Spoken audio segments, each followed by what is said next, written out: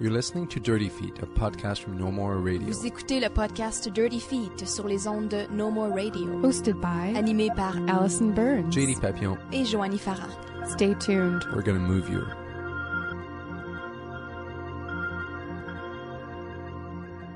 All right, this week on the Dirty Feet podcast, we have another Concordia grad guest who is also presenting at Tangente. It seems to be the year for that.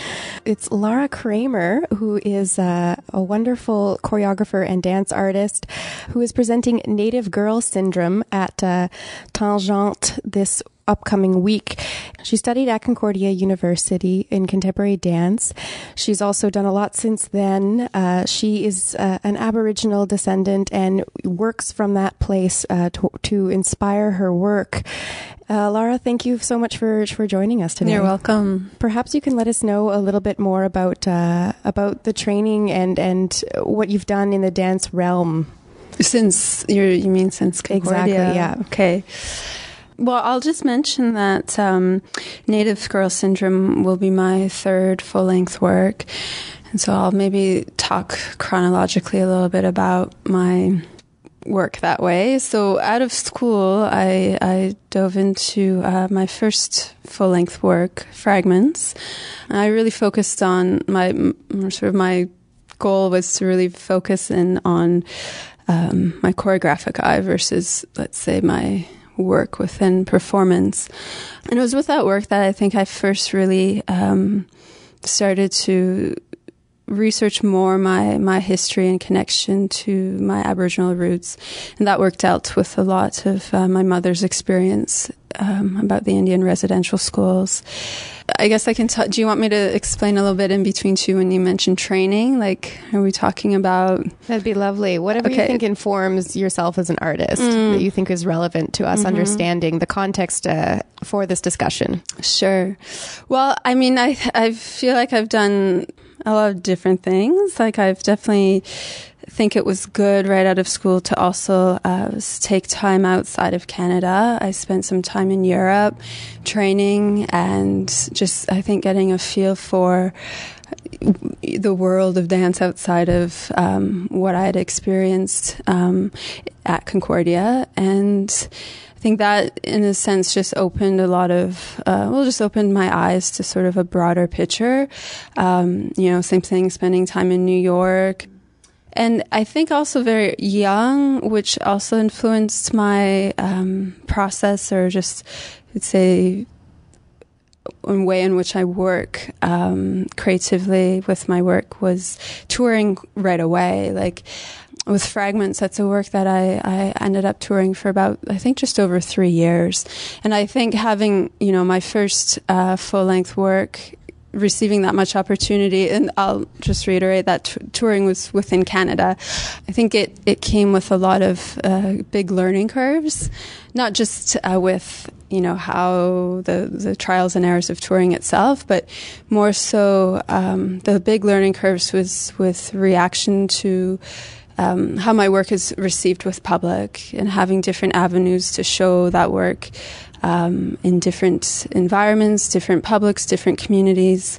Um, and it, I feel like it always gave me a perspective on sort of w- how I would maybe place the Montreal dance scene. And it always made me feel grateful coming back to Montreal because I realized how much resources we have here and how fortunate it is to be a young emerging artist in Montreal.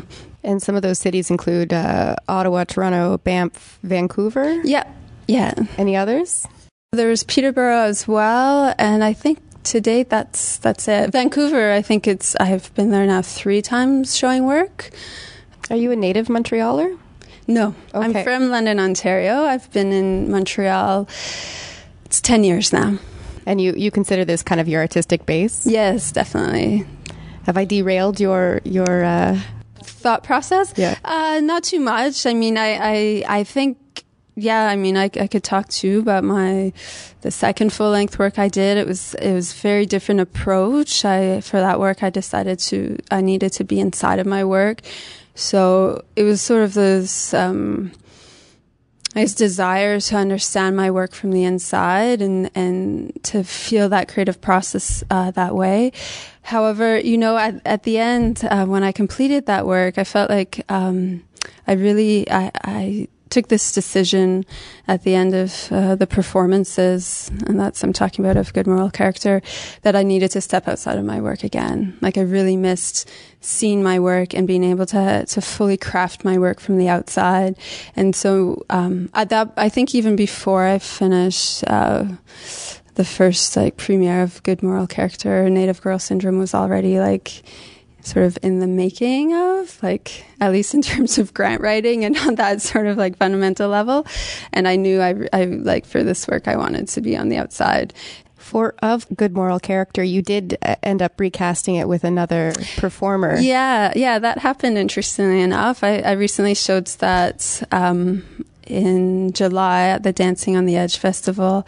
And that choice came to recast came with also uh, the birth of my daughter. I had a baby in April. And I just felt that um, I didn't want the demand of having to jump into my work uh, so quickly after this huge physical change. And I think it also just gave me this opportunity too to to re-examine or relook at that work from the outside, and it just felt like, um, yeah, a, a good um, opportunity to start to feel like I'm taking more decision making on on the craft of my work. You're looking for a different kind of nourishment when you started creating uh, this new work mm-hmm. in terms of mm-hmm. being on the outside from the beginning, which mm-hmm. you consider different as a process? Oh, yeah. Yeah, yeah definitely. Well, I think it coincides a lot too with like the choice to be on the outside.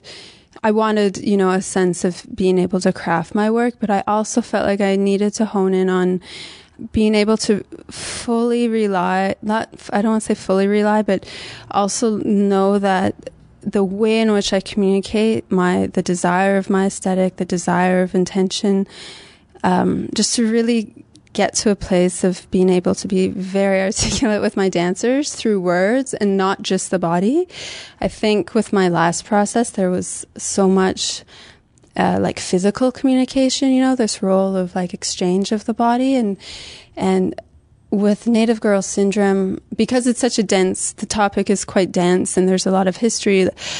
Uh, there's a lot of exchange through words and through I guess, bringing the artists, the performers into a state, into a universe. And so I, I think the approach on the outside allowed me to really take care of, I guess, nourishing and feeding the artists and creating a space for them to enter a state of body because that is essentially what the work is um, or I'd say like the avenue of the work that's taken. It's it's more about state of body than it is about physical form. And for that second work uh, of good moral character, mm-hmm. did stepping out of the work bring a new kind of understanding of of the work itself and of how you had, you know, how you had gotten to that work, seeing it performed by someone else? Yeah, I think it it it's interesting having this because uh, I, I, had sort of two tours to Vancouver the, earlier this year. One was in February. Uh, where I showed uh, the first development of Native Girl Syndrome, and then in the summer of Good Moral Character. And it, it was interesting. What really um, struck me and this is sort of what influenced, I guess, a radical shift in my aesthetics to what I, am going to be presenting this week, was that both um, these works, and including my previous work or earliest work, fragments, fell into an aesthetic. I don't want to say fell as in a negative way, but fell into an aesthetic and into a narrative that I feel are in a sense it's it's I look at it as sort of a recipe. It's like they both all three of those works, um, not Native Girl Syndrome anymore, but uh, the the first development of it, were structured in a way of these fragmented scenes, and I strung them together like um, to to create a narrative. And this is what I mean by my recipe, my recipe of structure, and it's not just just structure on the whole, but also within those scenes. I felt I was just allowing these moments to exist. And I think it originally, that structure worked very well for both fragments and of good moral character. But when I was re examining um, Native Girl Syndrome, I, I just realized I felt so limited. And I questioned, am I using the structure or this sort of recipe uh, because I'm comfortable with it, or am I using it actually to serve the work? And so I think having this chance to step outside of, of good moral character, like you're asking, just reconfirms that for me that, okay, I do have a way in which I'm comfortable, or I don't know if comfortable is the right way, but habitually will go into um, maybe putting together a full length work. And I felt like it's, um, I just, I think I, I reached a, like a wall. And so when I came back uh, to Native Girl Syndrome this summer, I had uh, a chance to really sort of, I guess, challenge that way I was working and and uh, shift shift gears a bit. And how did you change your recipe from this um, this string along of fragments to to what became Native Girl Syndrome? Uh, well, I'm basically now looking back, I'm like, I basically have a completely different piece. I almost have two versions of Native Girl Syndrome. I'm trying to think if there's any scenes from the original that I've kept. I feel like there's maybe one scene that's still within the work. But I think the change came from opening the door to how I I was directing the artists. I came back. Um, I more or less told them that we were going to start somewhere else and uh, like everything still informs them. Like it was great to go through this process and i think for them to to feel like my aesthetic. Um, but i started uh, leading improvs that would guide the dancers in a way to really um, embody characters, embody state of addiction, of, of loss, of alienation, and and uh, it was through like a series of improvs I'd start to grab hold of like images that that that interest me. And I think the other thing that really that I was trying to be really conscious of was not ending moments, like just seeing because in my previous work I felt like I would I I would sort of create these scenes that potentially could have gone on longer, but I would find a sort of a timing that was for me just and end it. And I think with Native Girl Syndrome, my attitude was I was also quite influenced with um, being in on like East Hastings in Vancouver, and it dawned on me that like it never ends. Like there's no moment of uh, rest. Like you can walk through East Hastings at two o'clock in the afternoon and it's it's like nighttime craziness, you know? And so with this new work with Native Girl Syndrome, I basically said, you know, for the performers, we're not necessarily traveling back in time or having moments of different times of day. It's one day. It's like the, or it's a, it's maybe a part of a day, but it's like, I think that helped to feed my uh, direction in terms of structure because it was this realization that the piece is sort of looking at a day in the life of these two characters. When you're directing your performers, are you giving them this type of description or you are you feeding them specific words? Because you, you were saying earlier that you're using more language mm-hmm. to direct them. What kind of language? Oh, I think I, I go between, well, what you just described for sure. I think I can be sometimes very uh, literal in terms of saying, like, for this particular work, a lot of the images are are just even from my taken in from my day to day. You know, it's like images I've seen uh, of, of homeless people on the street or a description of maybe like an aesthetic I, I've pulled out from someone I've witnessed will come into the work a lot too is um, I think diving into the history. This work is um, you know influenced and inspired by my grandmother's experience of having migrated from a First Nations community in Ontario to the streets of Winnipeg, and I've there, there's so much history there, and a lot of um, that too I think informs the characters, and it's it's essential that they understand that history. Um, so we're often talking about um, kind of history, culture that influences the work, and also uh, the surroundings. So the example of, of Vancouver and East mm-hmm. Hastings and, and all of that. But how much, um, what I'm really interested in knowing is how much do the actual performers or the people that you choose to work with in any production, how do they influence uh, your work. Mm, interesting. Yeah, I I definitely feel that um, with the artists that I have currently, they bring forth a lot to the table, and I think this aesthetic shift that I that happened this summer um, really allowed me to, I'd say use the artist to their full potential. I think the previous um, her first development I had of Native Girl Syndrome, it was touching on some theatrics, but um, um, and I'll just say my artists who have experience in, in with uh, theater using text. But when I sort of came back this summer and, and did these series of improvs, I was sort of like, okay, yeah, they've they've got way more potential than I'm making space for. And so for sure, it's, it's, it's definitely, an, it's a collaboration, it's an exchange.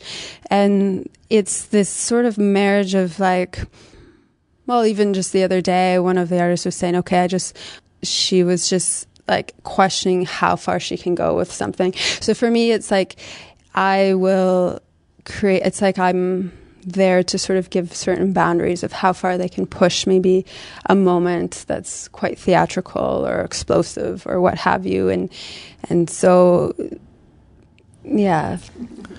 Okay that might sound like a really clueless guy question but do you feel that the birth of your child allowed you to let go of some of the stuff that you had done before. Definitely. With a good moral character, it was really about me physically um, exploring the work from the inside. It was such a strong desire, and um, it was something I wanted to transmit to to. Well, Lael Stellick was my uh, the other performer, and so it, for me, it was really important to understand the like my physical aesthetic and the relationship that we had. Being on the out, like this might sound silly, but you know, both uh, sort of the conception of my daughter and the birth of Native Girl Syndrome happened um, together, and it was more or less like it was it was planned and and I knew prior to uh, my pregnancy that I would be on the outside of Native Girl Syndrome for this reason of wanting to to craft my work. But I think having um, going through the pregnancy really reinforced that because there was a point in which like even if I wanted to get super physical, like I couldn't. so I think it really worked in my favor and it just was sort of this reminder that like the work is still like I don't want to say it's it's it's not influenced at all by my physique, but it's it's coming still from this really um, you know deep place. That's I shouldn't give too much the piece away, but the characters in this work. They have to understand what it is to lose a child. And so I think that there's a lot I can communicate on a level physically in terms of uh, just even how our state is affected, how our state influences our bodies. So I think, yeah, it's it's definitely um, to answer your question. It did definitely inform the work, but I think it informed it in a way that was very. It's like it's very kinesthetic. It's very, uh, yeah, very descriptive and very like emotional and very moving more into sort of a realism.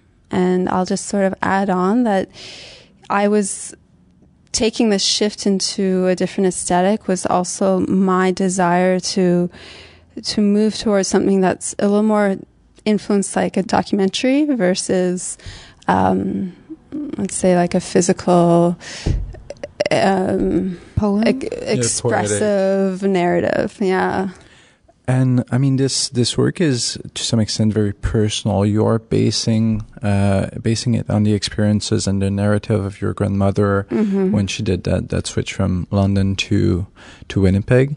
Um, Not London. London's where I'm from. Oh, sorry, from, somewhere yeah, in Ontario, Ontario, which is uh, quite north. To to a bigger city, mm-hmm. Winnipeg.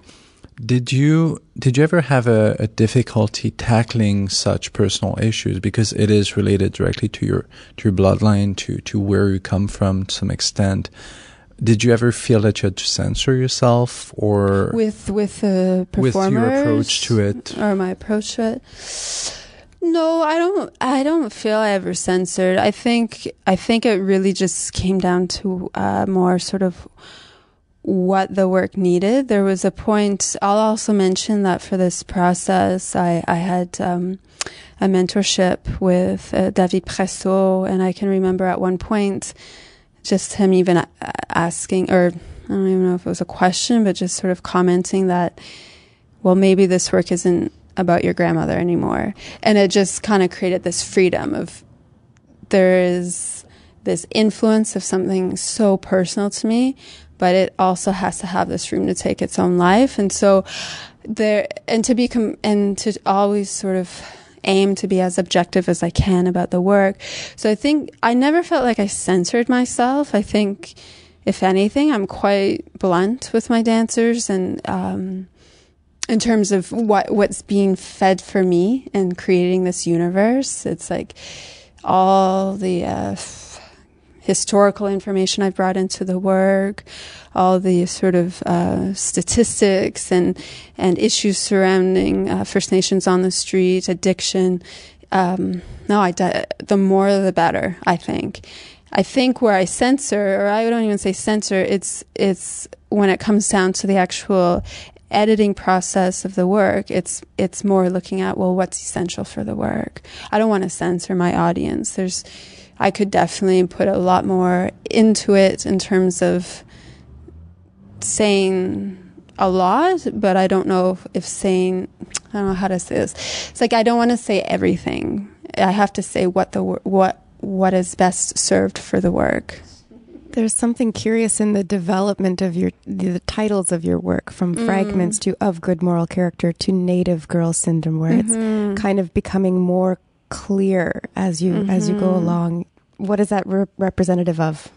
I'm glad you asked that question because I think it's it's interesting because Native Girl Syndrome, the actual title, I'll maybe talk a little bit about that, actually came through uh, my research process during fragments um, there's a link for sure. And I think um, it, I was, gosh, going back to 2008, I was when I was researching um, um, the subject matter around the schools and the children at the residential schools. I came across some text.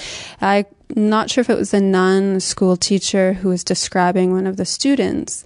And she, uh, to sort of paraphrase, she said, "Oh, this child, this this girl, she's going to fall to native girl syndrome." It's not an official term, and she was saying this girl's going to fall to native girl syndrome. She's going to become victim of abuse. She's going to wind up on the streets. She's going to become a prostitute. She's going to be in abusive relationships, lose all her children, become an addict, uh, be in and out of jail. And so as I was reading this, I was like, hmm, that's actually like the description of my grandmother. And I found it such an interesting term and de- quite derogatory, and I hadn't heard it or seen it anywhere else. And I sort of just kind of kept it in the back of my head as that's an interesting term. I want to sort of explore what what is that, and so it came back, and uh, I think it's you know, I can talk a little bit about of good moral character, but I believe that too is still within the same sort of line of, I guess, without skipping around too much, I'll just say the term of good moral character is really looking at. Um, I'd say it, it too, in a sense, came from that a similar place of.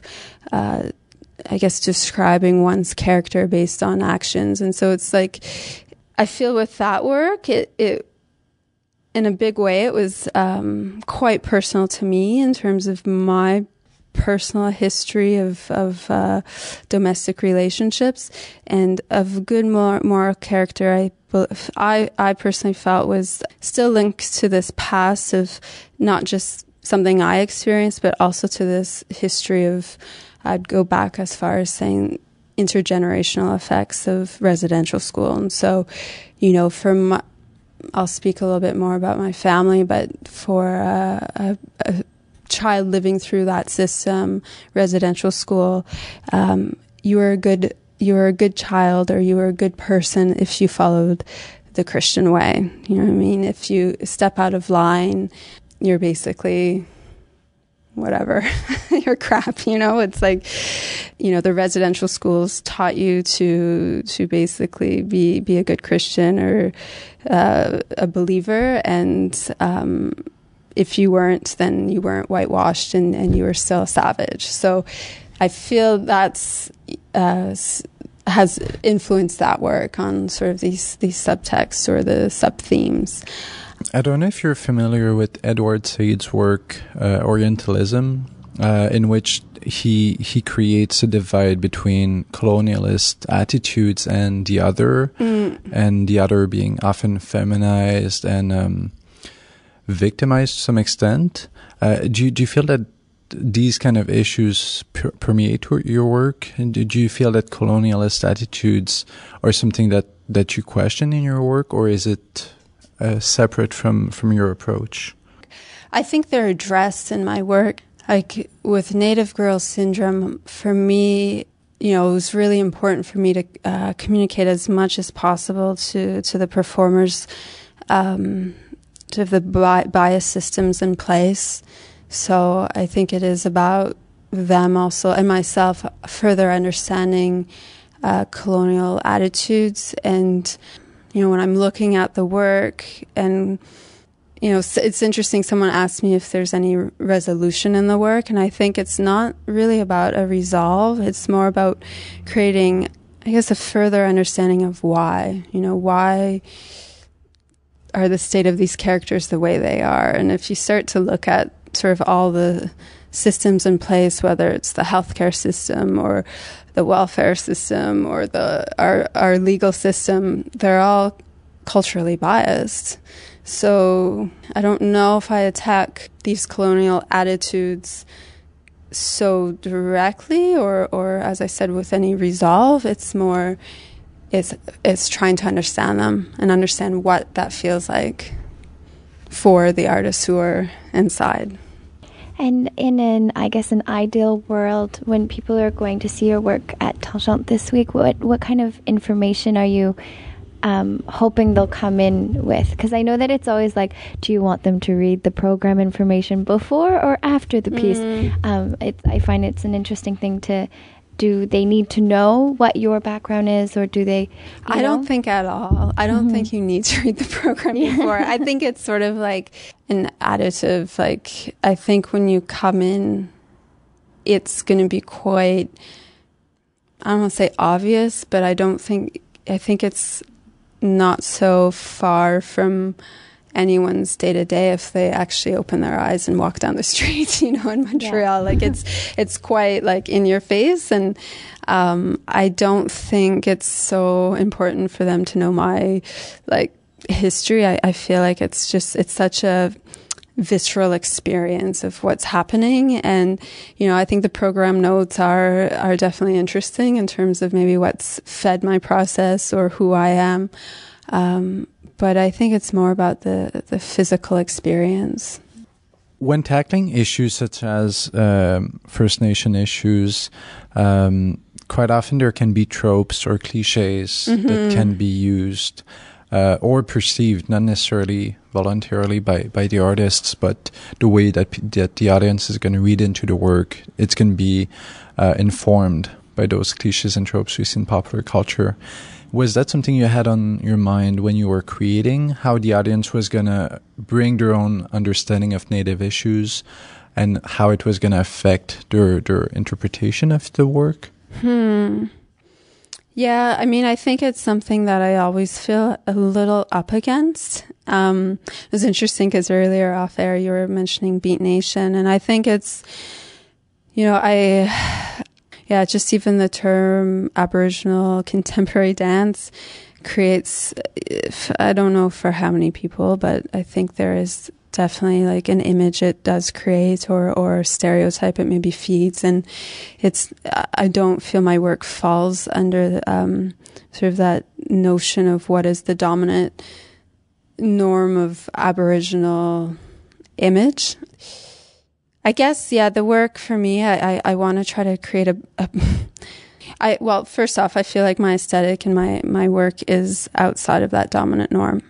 And I think that's important. And I think, uh, you know, even with Beat Nation, it's, it's so pertinent that that exists because, um, even just that understanding of, uh, that stereotype and that it so strongly exists still in the attitudes and perspectives of a lot of non-native people. Um, it's so limiting because it, it, in a way, keeps First Nations static and it keeps keeps them more or less sort of framed in this sort of museum archetype, you know, and and um, it was interesting. Someone asked me, you know, whether they thought my work was traditional or not. And I had a colleague of mine, he said, Well, yeah, it's traditional. It's not traditional in that traditional sense of the feathers and this, again, the stereotype of uh, what we would maybe say, Oh, this is First Nations and it's this image and it's only this. But it's traditional in the sense that it's current and it's relevant. And um, to put it really bluntly, the uh, the drunk Indian on the street is current and present, and it's a part of, you know, the effects of assimilation and the effects of genocide. But it's not. Uh, I, I, think why I'm pushing that to say that it is current and present, and even maybe it sounds radical to say it's traditional, is that it's present and it's and I think the more we continue to dismiss it as something else, then it's not being even embodied in our our minds that it's real or that genocide even happened or that the only valid Indian is that quote unquote traditional Indian who remains in a museum. We spoke earlier about the benefits to you as an artist and, and, and your performers touring uh, across Canada. Can we talk about it in the context of, of the different uh, public. Yeah, exactly. That you find yourself in, especially in in relationship to kind of the Aboriginal presence. Mm-hmm. Mm-hmm. I feel so fortunate, I have to say, to have had the opportunity to show work within a more, I'd say, prominent Aboriginal community. Um, like earlier this year, we showed the first development of Native Girl Syndrome uh, at the Talking Sticks Festival, which happens every, I believe it's like the end of February, beginning of March in Vancouver. And um, yeah, I love what Margo Kane is doing um, for that festival, and it's so lovely to have opportunity to show. Uh, my work there. It was it was the second time I showed uh, work f- for that festival, and it's it's a it's a mixed festival. So there's there's a lot of uh, theater as well as music and visual art, and it's a gathering and it feels in a way a family. Like and i know at the heart of sort of margo kane's vision who's the founder of the festival she said it was like creating a family for her community. And what was the question again? Just the experience of how it changes? Like how the context changes how, how the, the how, changes. how it feels for you what the responses of the public do you have are you nervous about presenting in that i feel situation? so at ease i have to say i feel i feel so at ease when i'm sharing my work with uh, like commu- like artistic aboriginal communities and i think it's there's a total um, ex- feeling of acceptance, and you and you feel it. Like, I mean, and I, and maybe it's the way in which uh, the platform of the way in which they're shown, and it's done in a, I'd say, in a more um, less formal way. Like, there's I've been at that festival now twice, and there's always a sense of, um, you know, everyone's very much. Uh, they're sort of I don't know. I guess I'm I'm nervous to show work in Montreal because there's so like there's so many uh, artists and critics themselves who are attending, and I and not that that doesn't exist in in the realm within the art, Aboriginal arts community, but I feel that there's sort of a, a more um, I feel very nurtured in that community, and I feel maybe it's too with the artist panels and, and the, the connections I've made. Um, there always feels to be, um, I think it's also, there's a cultural perspective that's very different to, um, that really contributes to how the work's received and experienced. Well, it's almost in opposition to Stephanie's earlier question. Like the, the audience may not have read the program, but they understand the work a lot in a Oh, different yeah. way. Oh yeah, yeah, yeah. My, it's all close to home. You know, it's like when I first started showing fragments, and the first time I showed it, well, when I showed it at the BAM Center, for me was really the moment in which there was a more prominent Aboriginal um, community, and it was. Uh, a lot of my students and colleagues, and to feel their reaction was um, I mean, it, it, I can't really put it into words, but I, it just, I made me, I was just like, shit, like they, they've all lived through this. It's like they're, whether it was themselves who went to residential school or if it was their grandparents or their mothers or siblings. And it's like, uh, as you just said, there's no program notes or explanation on uh, the, like going, you know, I, I feel like Canadians are starting to understand, maybe on a surface level, what the residential schools mean, but um, for it to be directly affected through your lineage and your family, it's it's something else. And so I think the work speaks differently. I think when it's close to home. So you mentioned during your travels that you know um, you, you you did uh, get into different dance scenes. You did Mhm. learn about dance and different perspectives in dance. Did you feel that some other scenes would have a more uh, similar approach or understanding or perspective to the dance scene that you're? Presently involved with Yeah, in terms of dancing, meaning my own personal work. Mhm. and drive. It's interesting. I, I don't know. I, I sometimes feel really independent within my journey. And for sure, I think there's, like, I definitely make connections when I tour in terms of having maybe a, um, a similar perspective. And I'd say maybe a similar cultural perspective. But in terms of like aesthetic and, and approach, I feel so much of what feeds me in my work and what I connect to is actually outside of the dance community. I'm not, I'm for sure influenced by it, but um, like for me, it's really important to not um, isolate myself to it. I think with touring and with having seen different dance communities in, across Canada, I see how insular Montreal is as a dance community and can be, and there's so much of like, uh, I mean, and it's normal. I think it's such a um, sort of cause a reaction to what's, yeah, I'd say it's just like I think a normal reaction that we are so affected.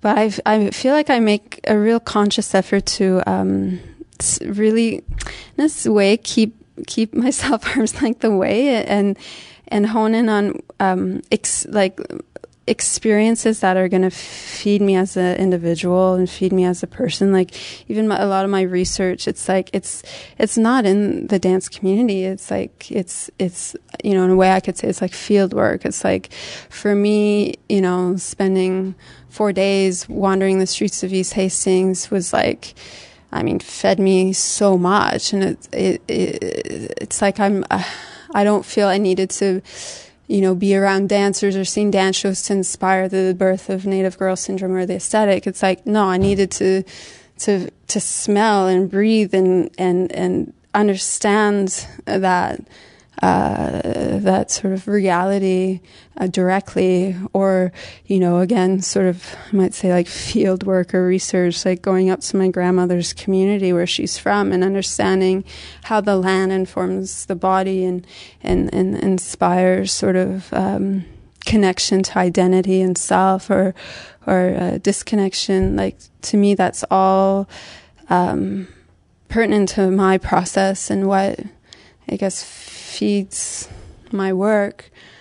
And so, yeah, I guess I, I do feel quite like it's an individual journey and, and yeah.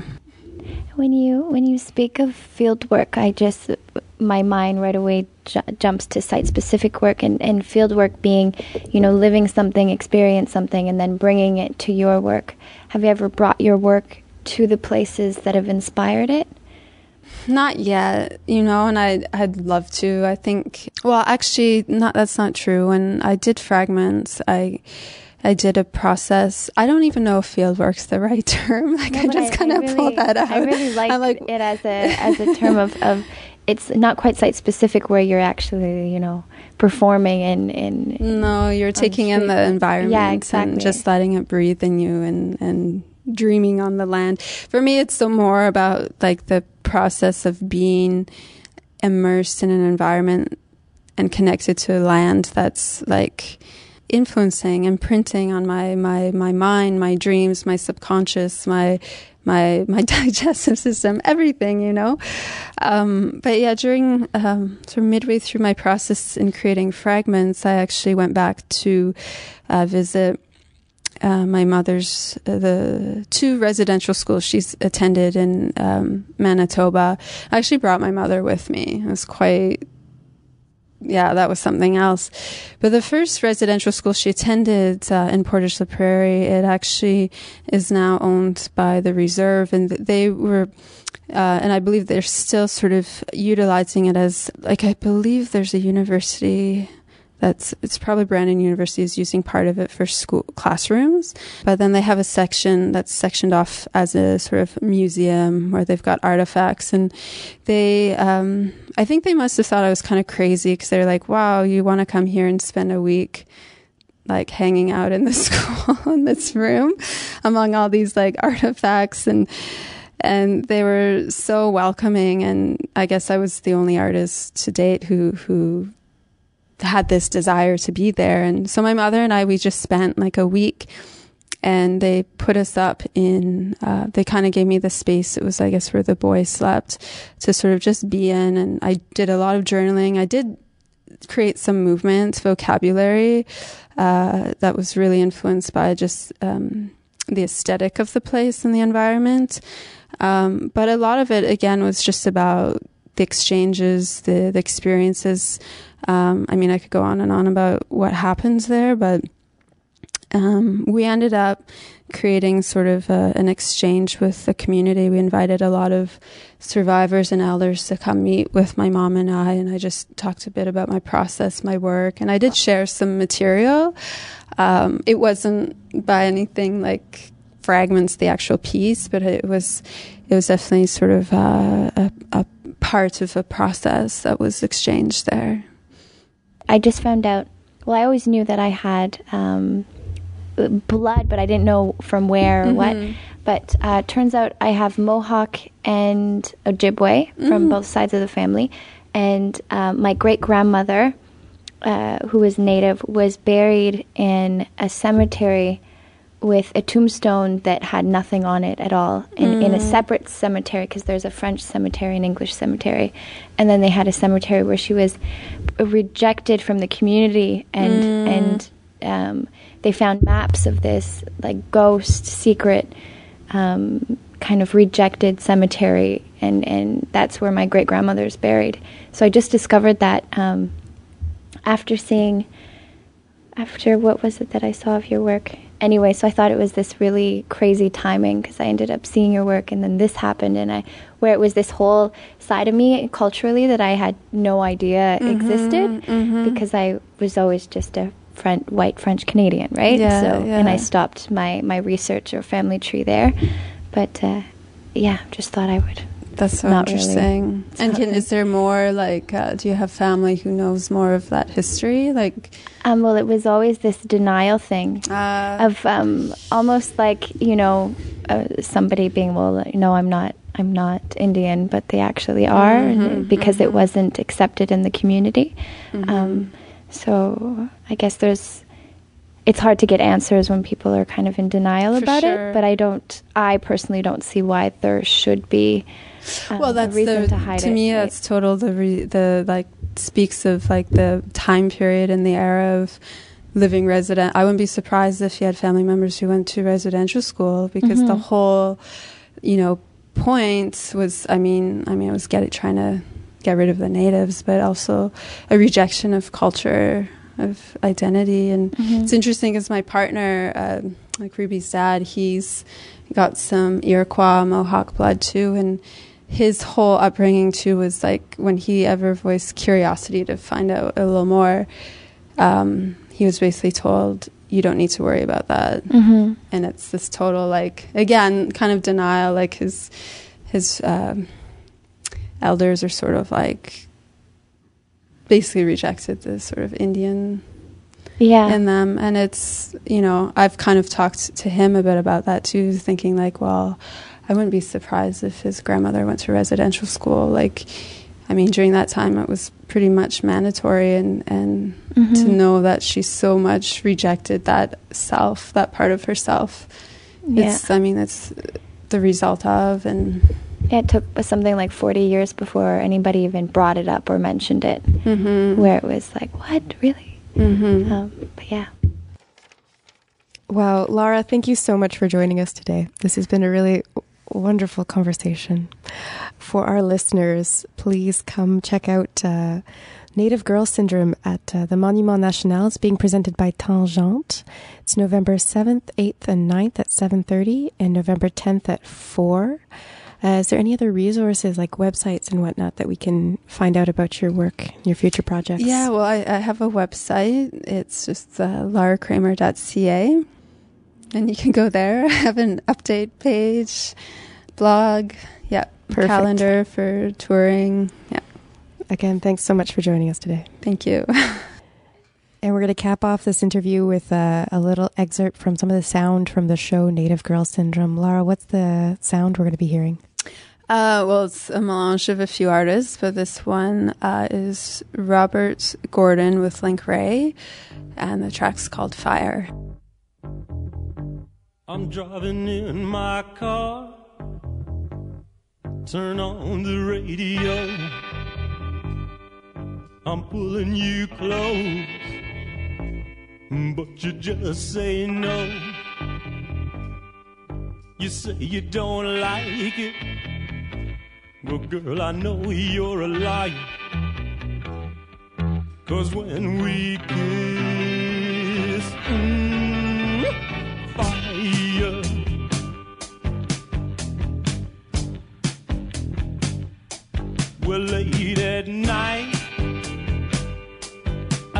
you home. I say I wanna stay. You say you wanna be alone. You say you don't need me, but you can't hide your desire. Cause when we kiss,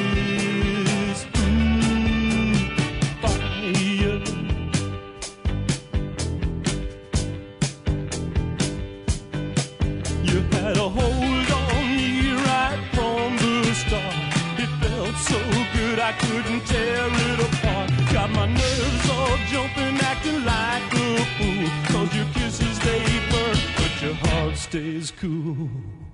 Romeo and Juliet, Samson and Delilah. Baby, you can bear the love they didn't deny. Well, now your words say split,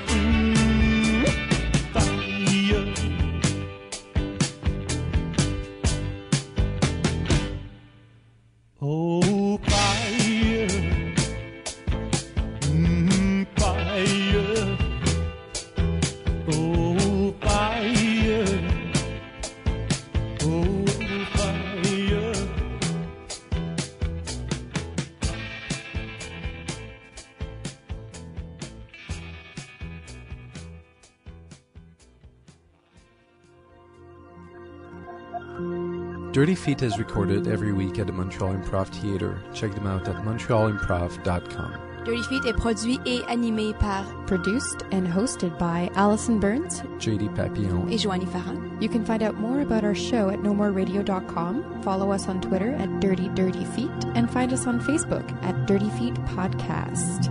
Vous pouvez écouter tous nos épisodes sur notre site web ou vous pouvez vous abonner également sur iTunes à notre podcast. Listen to past episodes on website or subscribe to the podcast on iTunes.